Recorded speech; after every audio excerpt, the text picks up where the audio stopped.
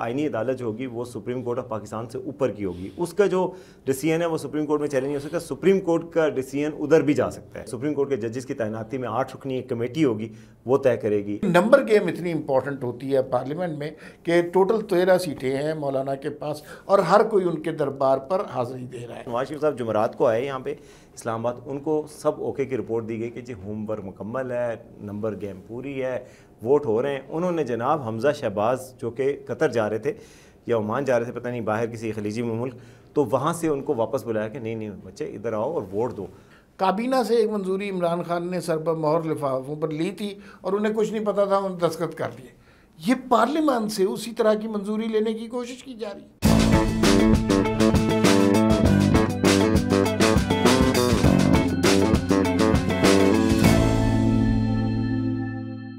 जी नाजीन अस्सलाम वालेकुम। मैं और वसीम अब्बासी एक दफ़ा फिर वी टॉक के साथ आपकी खिदमत में हाजिर हैं। तीन बुनियादी इशूज़ पर हमने बात करनी है। पहली तो बात यह है आइनी तरामीम आइनी तरामीम आइनी तरामीम हो क्या रहा है और ये तरामीम हैं क्या? ये बहुत ज़रूरी है, ये जानना। ज़्यादातर लोगों को इसके बारे में इल्म नहीं है। वी न्यूज़ ने एक एक्सक्लूसिव खबर की है और कि ये तरामीम क्या हैं। दूसरी बात ये है, मौलाना फजलरहमान की अहमियत अचानक कैसे बढ़ गई है? यानी हर कोई मौलाना फजलरहमान के दरबार पर हाजिर हो रहा है, लेकिन मौलाना है कि पेसरी गए हैं, किसी की बात मान नहीं रहे। वजूहत क्या है, मामला क्या है?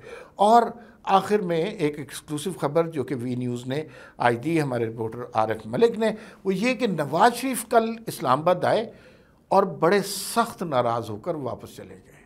और कुछ लोगों को जमात में डांट भी पड़ी है। तो इसकी क्या वजूहत हैं? इस पर भी बात करेंगे। वसीम भाई साहब, पहले तो ये बताएँ, ये आइनी तरामीम हैं क्या? लोगों को क्लियर नहीं है। कोई कहता है चीफ जस्टिस को एक्सटेंशन मिल रही है, कोई कुछ कह रहा है, कोई बलोचिस्तान के हवाले से तो बात सुनी थी, वो भी है। मसला क्या है ये? कल तक हम हम भी यही कह रहे थे कि बस चीफ जस्टिस की एक्सटेंशन हो रही है जजेस की मियाद के लिए पैनल आएगा, पाँच पाँच रुकनी। मगर जो चौवन नकाती तरामीम है, उनको देख के हम भी अंगुश बदलना है बाकायदा, और वाकई में उसमें बहुत सारी चीज़ें हैं। उसमें इतना उसका दायरा कार वसी किया गया है कि चलो, लगे हाथों ये भी करवा लो, वो भी करवा लो। तरामीम में देखें, जो बड़े बड़े नकात हैं, एक तो ये कि एक आइनी अदालत बनाने का किया गया है। तरमीम में एक तजवीज़ दी गई है, और वो आइनी अदालत जो होगी, वो सुप्रीम कोर्ट ऑफ़ पाकिस्तान से ऊपर की होगी। उसका जो डिसीज़न है, वो सुप्रीम कोर्ट में चैलेंज हो सकता है सुप्रीम कोर्ट का डिसीज़न उधर भी जा सकता है। यानी कि वो इतनी सुप्रीम कोर्ट से भी अबव होगी और उसके जजेस की जो म्याद है, वो तीन साल के लिए होंगे और वो अठावन वो अड़सठ साल तक रह सकते हैं। तो गोया, अगर जस्टिस काजी फायजा साहब को वहाँ पे अपॉइंट किया जाए जस्ट मैं सेइंग थ्योरी के तौर पे तो वो तीन साल मज़ीद अब वहाँ निकाल सकेंगे। क्योंकि उसमें शरात ये भी हैं कि वो जो जो वहाँ अपॉइंट होंगे, वो सुप्रीम कोर्ट के जज रहे हों या हाई कोर्ट में ज़्यादा अर्सा गुजारा हो तो वो सारी शरात ये पूरी करते हैं।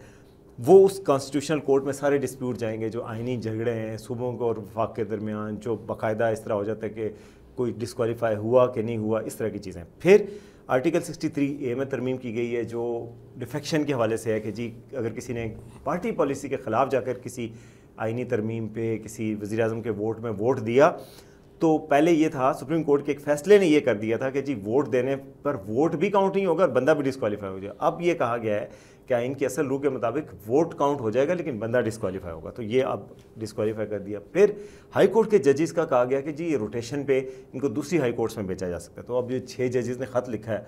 अब लोग ये कह रहे हैं कि छः जजेस, पता नहीं कोई कोयटा बैठा होगा, कोई लाहौर बैठा होगा, कोई कराची बैठा होगा। ये एक खदशा है। फिर ये कहा गया कि जो हाई कोर्ट्स की जजेस की तैनाती है, उसमें अटॉर्नी जनरल भी बैठेंगे और उसको चेंज किया गया। सुप्रीम कोर्ट के जजेस की तैनाती में आठ रुकनी एक कमेटी होगी वो तय करेगी। अच्छा जो कॉन्स्टिट्यूशनल कोर्ट बन रही है फेडरल कॉन्स्टिट्यूशनल कोर्ट उसका जो पहला चीफ जस्टिस होगा वो कौन बनाएगा? वो वजी अजम सदर के मश, सदर वजी अजम के मशवरे से बनाएगा। उसके जो बाकी जजेस हैं वो चीफ जस्टिस और सदर मशवरा करके बनाएँगे यानी सदर जदारी और काजी फायजा फ़र्ज़ किया। तो बेसिकली ये अमेंडमेंट से अच्छा उसमें जो एक चीज़ आई है वो सर्विस चीज़ के हवाले से।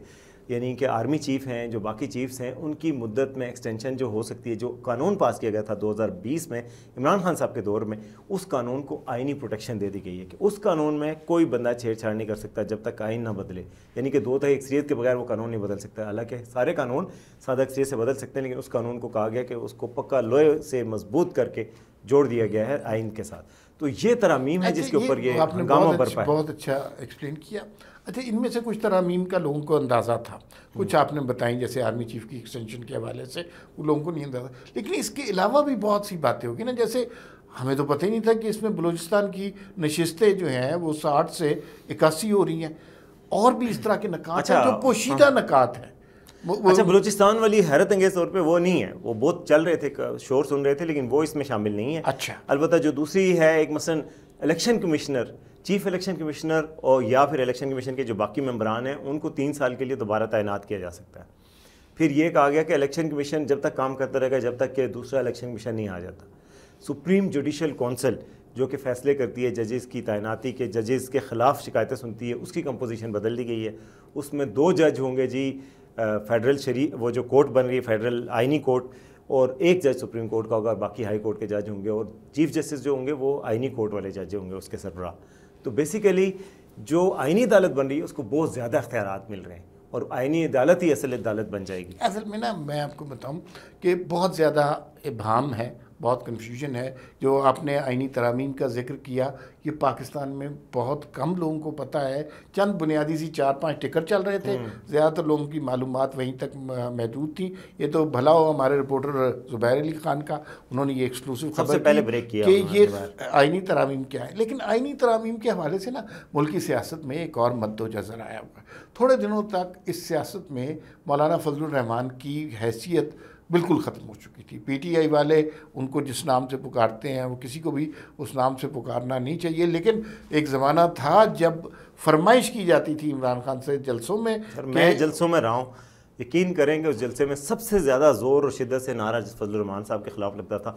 और इमरान खान साहब स्टेज से वापस जवाब देते जैसे आपने कहा कि वो स्टेज से कहते थे हाँ हाँ मैं लगा रहा हूँ मैं कहना चाह रहा हूँ आप ये चाह रहे हैं मैं लगाता हूँ। और आवाम में जो जज्बा आता था उनमें, क्योंकि ये नारा ही उनको सिखाया गया था। लेकिन ये एक साइड की स्टोरी है ना, दूसरी साइड की स्टोरी ये है कि जब इलेक्शन हुए इलेक्शन के बाद मौलाना हुकूमत के ऊपर फॉर्म 45 47 के हवाले से बड़ा गरज बरस रहे हैं और वो कोई इस हुकूमत से खुश नहीं है, इसको गैर आइनी हुकूमत मान, मानते हैं और तिहत्तर के आइन के तहत इसको जूते की नोक पे रखते हैं, वो इसी तरह के बयान देते हैं। अच्छा सबकी नज़र में मौलाना दुश्मन हो गए थे और इस्टेब्लिशमेंट ने भी कोई उनकी तरफ़ इंटरेस्ट नहीं ज़ाहिर किया, लेकिन नंबर गेम इतनी इंपॉर्टेंट होती है पार्लियामेंट में कि टोटल तेरह सीटें हैं मौलाना के पास और हर कोई उनके दरबार पर हाजिरी दे रहा है। पीटीआई भी पीपल्स पार्टी भी नून लीग भी और फिर उसके बाद। इस्टेब्लिशमेंट भी और यकीनन कहीं ना कहीं रबता भी हुआ होगा। तो उसके बावजूद मौलाना नहीं मान रहे। उसमें एक तो नुक्ता बड़ा अहम है और मेरे ख्याल में मौलाना की दानिश का कायल होना चाहिए। उन्होंने कहा यार हमें दिखाई नहीं है। हमें पता ही नहीं है। तो ये जो आपने भी तफसील बताई ये मुझे बात मौलाना गफूर हैदरी ने एक और बात की अभी। उन्होंने कहा कि आप कह रहे हैं लड़की दिखाए बगैर निकाह कर लो। हम कह रहे हैं कि कम से कम लड़की दिखाओ अगर हमें पसंद आई तो हम कर लेंगे नहीं तो नहीं करेंगे। ठीक। अच्छा अब इसमें ना मुझे लग रहा था जो पहले की सिचुएशन थी उसमें यूँ लग रहा था कि जल्दी जल्दी में एक आईनी तरामीम पैकेज आ गया आ गया सबसे दस्तखत करा लिए अप्रूव करा लिया तालियाँ भिजवा दी। ये नहीं होना चाहिए। ये बिल्कुल नहीं होना चाहिए। ये सारी चीज़, एक एक शिक और ये इंपॉर्टेंट शिक है मतलब फॉर एग्जांपल कि ये चीफ जस्टिस का ये ये रोल होगा। ये कोई गैर अहम बातें तो नहीं है ना। एक एक शिक के ऊपर बहस होनी चाहिए। मशवरा होना पार्लियामेंट का काम क्या है? तो लेकिन और मौलाना ने बिल्कुल दुरुस्त बात की है। लेकिन जो लुत्फ आ रहा है कि मौलाना जिस तरह सेंटर ऑफ़ अटेंशन बने हुए हैं कल बल्कि किसी ने ये बात भी की कि कल ये लग रहा था रात को जब ये फैसला हुआ कि आज बात नहीं होगी तो कल ये हो जाएगी। तो लोग ये समझ रहे थे कि शायद मौलाना उस अटेंशन को एक दिन और इन्जॉय करना चाहते हैं। और मौलाना साहब ने तो कल मगरब की इमामत भी करवाई है। हाँ। उन्हीं लोगों के इमामत के जो लोग उनको डीजल दे के जलसा शुरू करते थे। हाँ, हाँ। और फिर चश्मे फलक ने देखा और हर पाकिस्तान की जमात चाहती है कि इमामत वो करें अब। मौलाना साहब की इतनी अहमियत है कि हर कोई उनको माँ बनाना चाहता है। एक ही साथ में खड़े हो गए महमूद महमूद याद जनाब। और मैं और अच्छा अब आते हैं जी इस सारी सिचुएशन में नवाज़ शरीफ साहब कहाँ हैं? कि नवाज़ शरीफ साहब जो कि पार्टी के सुप्रीमो हैं, रूहानी गाइड हैं, कायद हैं, और अब तो सदर भी हैं पार्टी के, उनके हवाले से आरिफ मलिक ने आज जो स्टोरी दी है कि जी, उनको तो पता ही नहीं था कि तरामीम इतनी हैं, चालीस हैं। उन्होंने कहा, एक दो तरामीम जो हम समझ रहे थे कि यार, दो चार तरामीम इतना ही नवाज़ शरीफ साहब को था। नवाज़ शरीफ साहब जुमरात को आए यहाँ पे, इस्लामाबाद, उनको सब ओके की रिपोर्ट दी गई कि जी होमवर्क मुकम्मल है नंबर गेम पूरी है वोट हो रहे हैं। उन्होंने जनाब हमज़ा शहबाज जो कि कतर जा रहे थे, या ओमान जा रहे थे, पता नहीं, बाहर किसी खलीजी मुल्क तो वहाँ से उनको वापस बुलाया कि नहीं नहीं बच्चे इधर आओ और वोट दो। तो वो वापस आए वोट देने के लिए आए। कल जब वो वापस आए तो उसके बाद जनाब उन्होंने मौलाना से रबता हुआ तो मौलाना ने कहा मुझे तो मुसवदा भी शेयर नहीं किया गया। इस बात पे वो नाराज़ होकर वापस चले गए लाहौर। और अब जो है वो भी नाराज़ होकर बैठे हैं कि मुझे भी तरामीम नहीं दिखाई गई। तो उस पर आप क्या कहें अच्छा नवाज़ शरीफ साहब ने ना बड़ी खफगी का इजहार किया है। नाराज़ हुए हैं। इसलिए कि ये वाली बात लॉजिकल नहीं है ना। जिस तरह मौलाना भी अगर पिसर गए हैं तो बिल्कुल सही है। कि एक मुसविदा आपने दिखाया ही नहीं है। ये तो मैं आपको बताऊँ, शायद आपको इरेलीवेंट लगे। काबीना से एक मंजूरी इमरान खान ने सर पर मोहर लिफाफों पर ली थी और उन्हें कुछ नहीं पता था उन्होंने दस्तखत कर दिए। ये पार्लियामान से उसी तरह की मंजूरी लेने की कोशिश की जा रही है।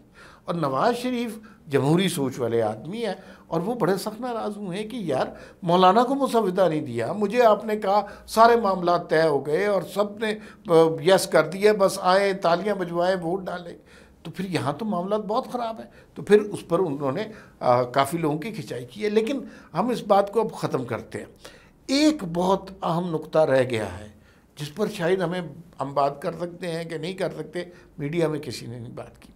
आज़म नज़ीर तार ने कहा कि अभी तक ये आईनी तरामीम उन तक नहीं पहुँची। रात दस बजे कहा कि मुझे मसवदा मिल गया है ये रात दस बजे और ये कौन है?